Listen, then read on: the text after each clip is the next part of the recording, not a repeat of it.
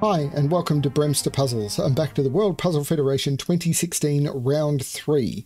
These puzzles were all created by a single creator from the Czech Republic, which was Jakub Andrusek, and I've almost certainly got the pronunciation on that one wrong, and I really apologize. Um, this is the final classic Sudoku from this set, and this is a 49 point puzzle. So this is a jump to nearly double the difficulty according to um, the uh, the point system of the previous classic Sudoku. So this one could be tricky. If you want a full breakdown of how the point system works, check out the first puzzle in this set, Classic Sudoku 1, where I go through a breakdown of how it all works. Um, of course, there'll be a link below to the where you can try this puzzle for yourself, as well as to the entire World Puzzle Federation archive. Let's go through the rules and then let's give the puzzle a try. So the rules are quite simple. Normal Sudoku rules apply. So in every box, in every row, and in every column, the digits 1 to 9 must be placed without repetition. That's the rules. I'm going to restart the puzzle to restart my timer. Let's give this a shot. So I can see one is not able to be there, one is not able to be there. That's a four, one can't be there. So this is a one, which puts one in one of those two. One can't be in there or there because of the ones that are there. So one has to be in one of those two cells, which means one is down here somewhere. One can't be in those, so one is in one of those two. Not sure what that's doing. One is in one of those two cells. Mm. Two and two two's not in those or there, so two is in one in that, which puts two in one of those two. 2 is in one of those two. 2 can't be in any of those, so 2 is in one of those two. 2 is in one of those two. None of this is really doing much yet. That's a 4 right in the middle of the grid because 4 can't be in any of those or any of those. So 7 is in one of those two, which means 7 is in one of those two. So one, two, three, four, five. Eight has to be in one of those two because the eight that's in that box has to be in this column somewhere, and the seven that's in this box. This is a six, seven. This six and seven has to go in this column somewhere. So this becomes six, seven, and the seven means this is the six and this is the seven. This has to be eight and nine, and the nine means this is the eight and this is the nine. Great. And these are one, three, and five. The one is not here, the three is not here. Cool. And these, one, two, three, four, five, six, two, and nine. Not sure how to deal with that yet.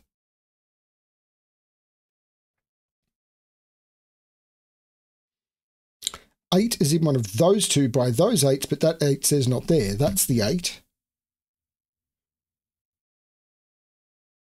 Seven, yeah, I've looked at that.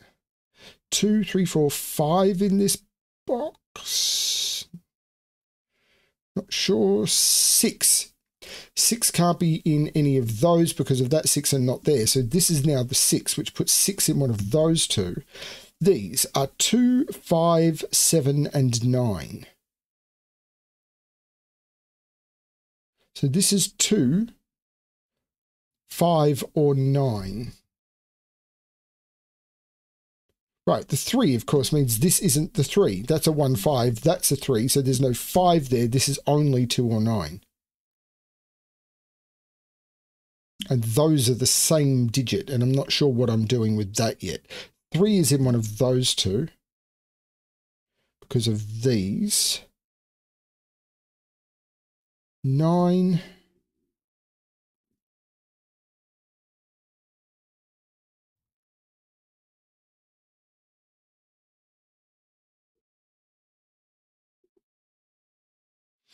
One is in one of those. Six is in one of those two. It's because of the sixes looking into the box.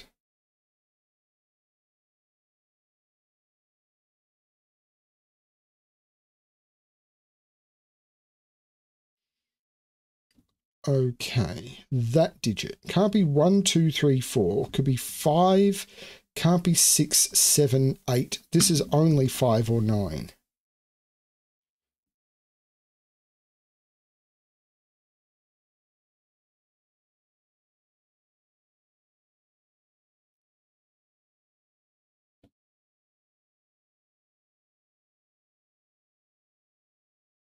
Seven is in one of those two because of the sevens looking into box three. 1 in this column is in one of those two.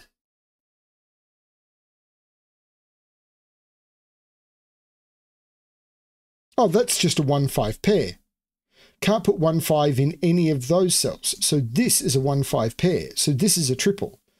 3, 6, 9. These are 3, 6, and 9. And 6 can't be in any of those. So that's the 6. This is a 3, 9.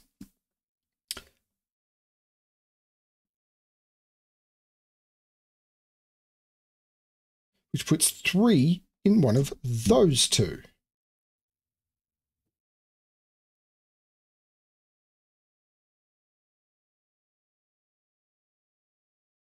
So these two, four, seven, eight. So that, and that can't be two, seven, or eight. That's a four. And these are two, seven, and eight. That one can't be a seven. That one can't be a two.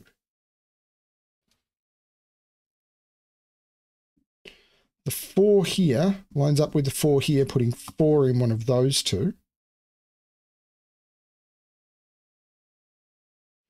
Four's not in any of those. Four is not in any of those or there. Four is in one of those two. That's not doing much. Or it could be doing a lot, but if it is, I am not seeing it yet. Well, this is a 1-5 pair. So what these are 1, 2, 3, 4, 5. So these are all 6, 7, 8, 9. I can't put 6 in either of those. So those are 7, 8, 9. And that's 6, 7, 8. It can't be 9. 5 is only in one of those two.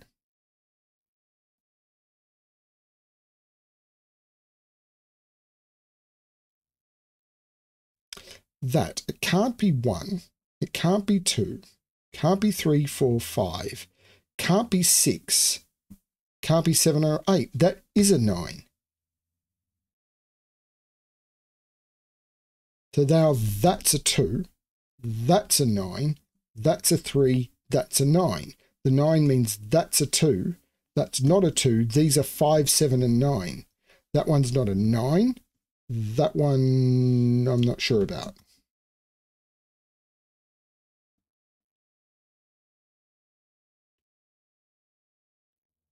So this is a pair. Where's the 2 in this row? Can't be there. That's the 2.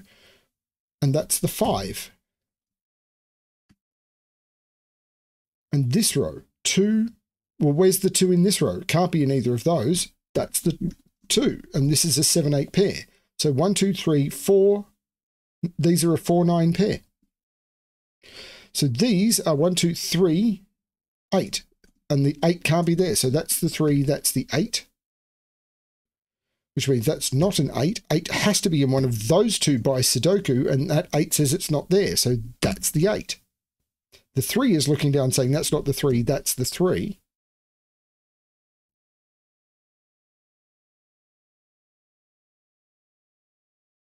Hmm, still not collapsing, but that's okay. It's supposed to be tricky. I'm actually pretty happy with how I've gone on this one. The 8 looks across saying that's not the 8. So 8 is not in any of those. Or there. 8 is in one of those two. So what's this? This row is missing 1, 5, and 7. So this is only 1 or 7.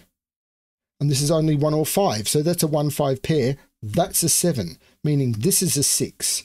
The 7 looks up making that the 8 and that the 7. The 8 looks down saying that's not the 8, that's the 8, meaning that's the 5, and this has to be the 1. Saying that's not the 1, so that's the 1. This is the only place for the 6 now, so this isn't the 6, and this is 3, 4, 5. There's no 3 there, there's no 4 there. I think that's it.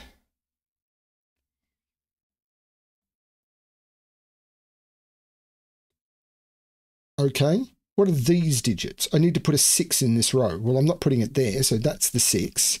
And I need to put a five in this row. So that's the five, meaning that's the one, that's the five, that's the one. These are now a seven, nine pair, and the seven is looking down, making that the nine and that the seven. The nine looks up, meaning that's the four, that's the nine. This column, one, two, three, four, that's a five. Looking across, making that the seven, taking seven out of there. The 5 looks across taking 5 out of there. This row is missing 3, 4, so this has to be 3 or 4, and the 3 is looking up, making that the 4, making that the 3, that the 5, that the 4. The 5 is looking across, making that the 9 and that the 5. The 1 says that's not the 1, that's the 1. This is a triple, 3, 7, and 9. The 3 says there's no 3 in any of those, so that's the 3. The 7 looks up, making that the 9 and that the 7. And this is my fastest solve of all of them even though this puzzle was apparently twice as hard as the previous ones. I don't understand. I've never understood competition puzzles. I really haven't. Now, it could be because we're using an online tool, um, and this would be trickier if you were solving with pen and paper, or it uses skills that are differently known, or something. Maybe I just got lucky. Um, maybe I made a logical leap that I shouldn't have made. I don't know. Um, at a 49 point puzzle, doing getting five points a minute um, would have put me in the top 50. So realistically, if I could solve every puzzle as fast as this one, I would have been in the top 50. And I don't care. I'm just trying to give comparisons based on how the World Puzzle Federation works because these are puzzles were created for competition purposes, and I understand that as a concept. Um, as I said, if anyone wants to try and compete with me for times, I, even if I'm faster, congratulations, you win. that's how much I care about competition. But um, I know people are interested in understanding how that works, and therefore I'm trying to present these in the light from which they're understood. Just because I'm not interested in competition doesn't mean that other people aren't. Um, yeah, really interesting stuff. I just, I'm very surprised that I solved this one, which was supposedly about twice as hard point value wise as the others, um, faster than any of the others. I know the first one I went through a lot of detailed explanation and everything. Maybe that's it. Maybe I just spent less time explaining. Maybe that's a problem and this will be a worse video because of it. I don't know. You can let me know below. This is the last classic Sudoku in the set, I believe. So after this, I'm about to move on to the variants. Haven't seen which, I, I, mean, I've seen, I set up all these puzzles months and months ago. I haven't actually looked through the list to see what variants are coming. So um, I'll be interested to find that one out. Thanks everyone for watching. Hope you enjoy the series. And as always, good luck with your solving.